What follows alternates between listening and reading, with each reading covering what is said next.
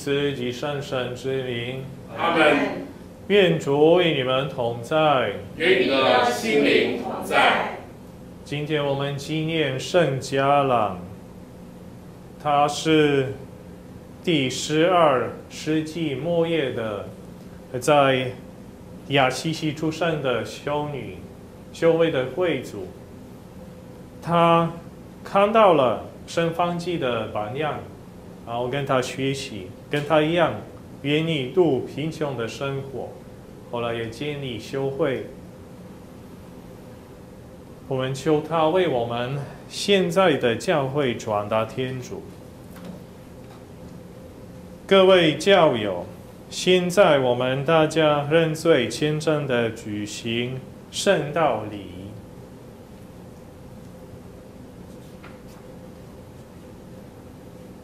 上主，求你垂怜我们，因为我们得罪了你。上主，求你大法慈悲，赐给我们救恩。愿亲爱的天主垂怜我们，赦免我们的罪，使我们得到永生。阿门。上主，求你垂怜；上主，求你垂怜；基督，求你垂怜；基督，求你垂怜；上主，求你垂怜；上主，求你垂怜。请大家祈祷。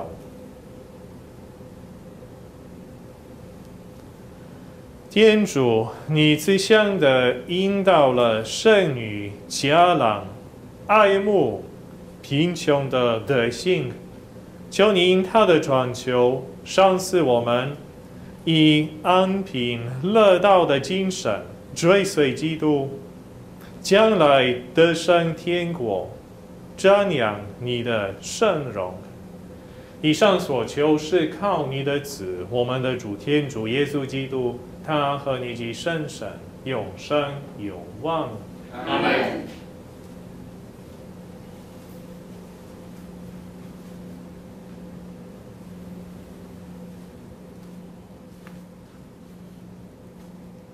攻读厄泽克尔先知书。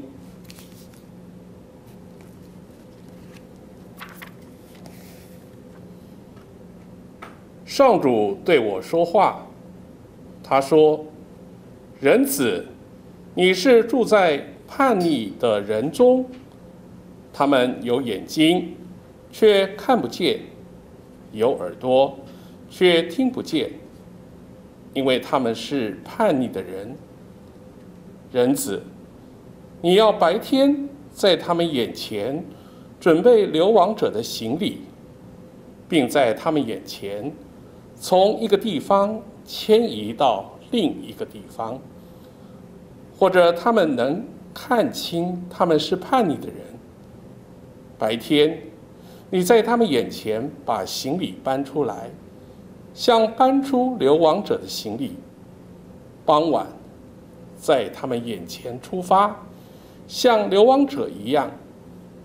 你还要在他们眼前于墙上挖一个洞。从那里走出去，你当着他们的面，把行李背在肩上。天黑时出发，并且蒙着脸，为了看不到地面，因为我要使你成为以色列人的一个预兆。于是，我遵命做了。白天，我把流亡者的行李搬出来。傍晚，我用手在墙上挖了一个洞。天黑时，当着他们的面，把行李背在肩上出发。第二天早晨，上主对我说话，他说：“人子，那些叛逆的以色列人，不是问你说你在做什么？你要回答他们说：吾主这样说。”这神谕是有关耶路撒冷的君王和城中的以色列人，并且说：“我是一个预兆，像我所做过的，也要实现在他们身上。他们要被掳到外国，他们的君王要背着行李，天黑时出发，从墙上挖的洞出去。他要蒙着脸，使他再也不能看见这地方。上主的圣言。感谢天主。不要忘记天主的工程。不要忘记天主的工程。他们却仍然试探并冒犯上主，不遵守至高者的法度。他们一如祖先，叛逆不忠，转而作恶，有如翻倍的功。不要忘记天主的工程。他们拼设祭坛，惹起上主的义愤。他们崇拜偶像，激起了上主妒恨。天主听见，大发雷霆，舍弃了以色列的子民。不要忘记天主的工程。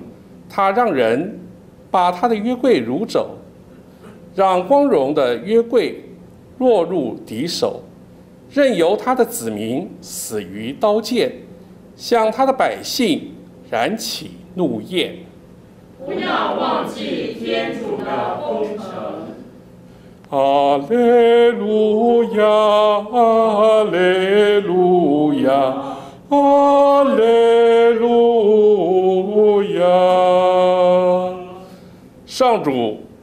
求你向你的仆人显示慈言，指示给我你的规范。阿门！路亚！阿门！路亚！阿门！路亚！愿主与你们同在，与你的心灵同在。攻读圣马窦福音，主愿光荣归于你。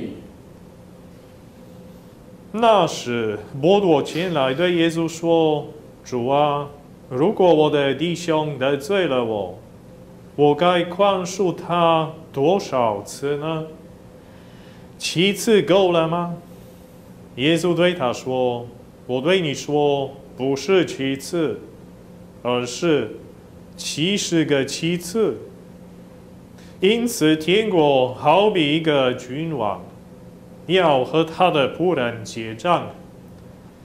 他开始结账的时候，有人给他带来了带来一个欠他一万金元宝的仆人，他没有钱可还，主人就下令。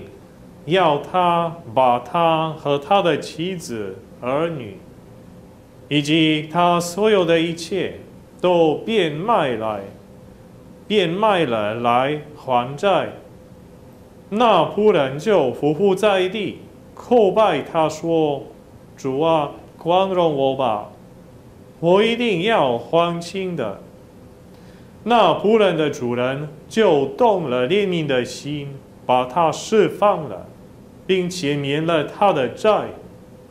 那仆人一出门，遇见了一个欠他一百银币的同伴，他就抓住他，扼住他的喉咙，说：“还你欠我的债。”他的同伴就伏伏在地，哀求他说：“宽容我吧，我一定会。”还清的，可是他不肯答应，反而把他关在监里，等他还清了欠债。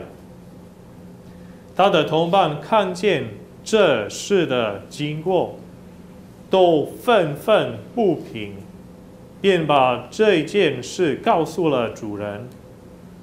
于是主人把这仆人叫来，对他说。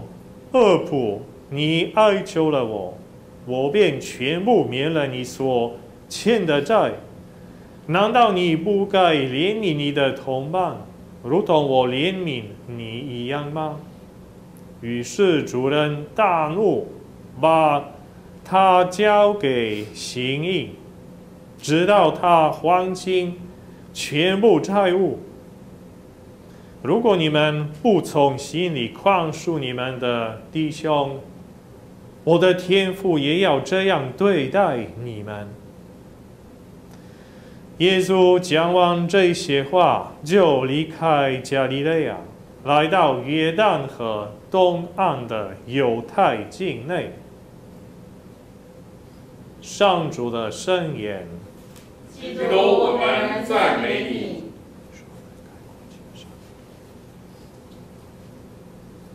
我的今天的分享不算是很复杂的。灵修的道理，我是，我也不会，嗯，给你们什么很重的伦理道德方面的劝劝勉。我今天的分享算是啊，比较用比较轻松的方式。呃，来鼓励你们爱上天主的圣言，爱上圣经。在今天的福音的开始，伯多问耶稣一个问题：如果我的弟兄得罪了我，我应该宽恕他？多少次呢？七次够吗？耶稣说不够。耶稣说要宽恕他七十个七次。七十个七次，我们也可以说七十七次。哦，有这种的翻译。那这个这个数字七十七。圣奥斯定，他他研究这个数字七十七，然后他在路加福音，我们今天念的不是路加福音，是马窦福音。可是他圣奥斯定在路加福音，他发现了也有这个数字，在哪里呢？在第三章，第三章里面有。耶稣受洗的故事，耶稣受洗，圣洗圣事，我们知道带给我们很大的很大的恩宠，就是天主宽恕我们所有的罪，原罪，还有我们啊受洗前所犯的罪都宽免了。那在路加福音。第三章那个耶稣受洗后有什么故事呢？就是耶稣的族谱哦，路加也有记载耶稣的族谱。不过路加的他记载的耶稣的族谱很特别，他从耶稣开始，后来就是弱色的，一直到亚当。那我们也可以说，从天主开始算，天主创造亚当第一第一个人，后来一直到耶稣。哦，路加提到多少个人呢？七十七位，七十七个，刚好跟我们今天听到的数字一样。我不晓得，陆家有没有想到我们今天听到的，呃，博多提到的问题，我要灌输多少次？可是刚好在路加福音你也有这个数字。圣奥斯定注意到这样的问题，注意到呃这件事，真的很羡慕他。天主给他这么大的恩宠，他在圣经里面看到很重要的启示，也告诉我们，希望我们也会对圣经有兴趣，每天看天主圣言。也许天主也会告诉我们很重要的是，让我们改变我们自己的生活。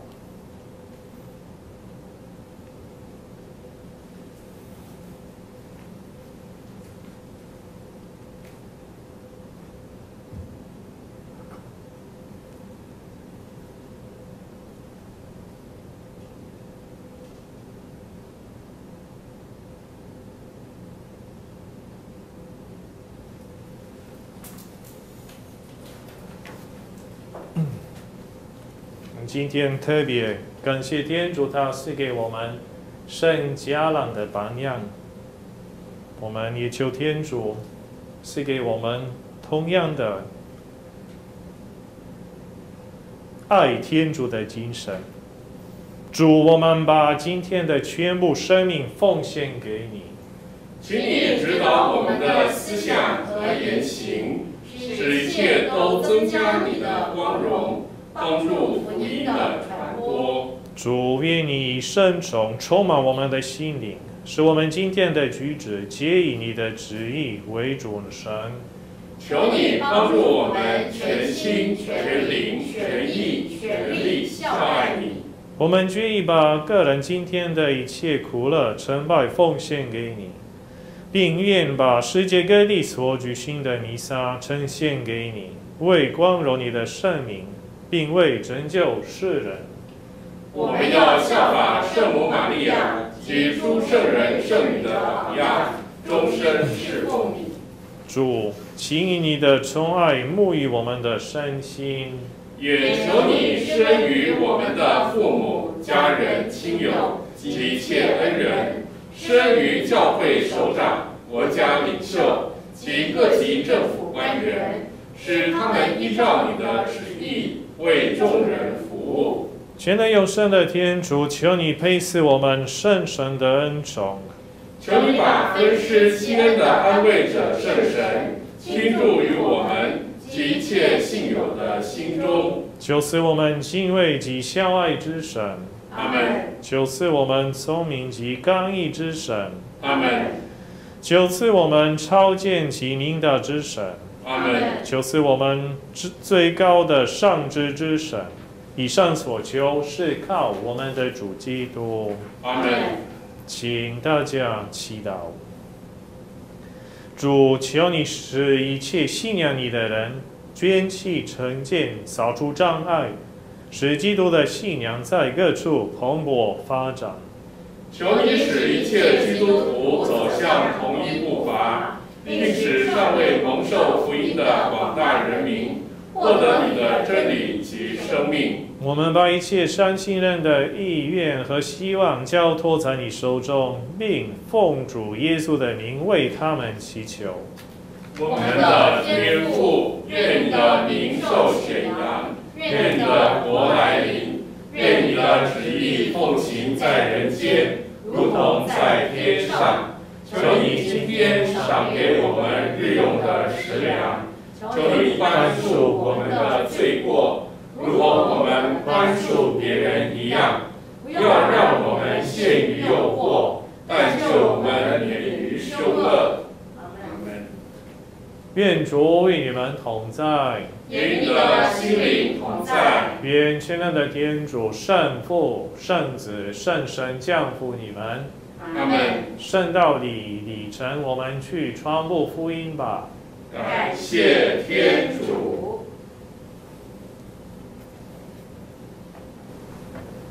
你曾经走进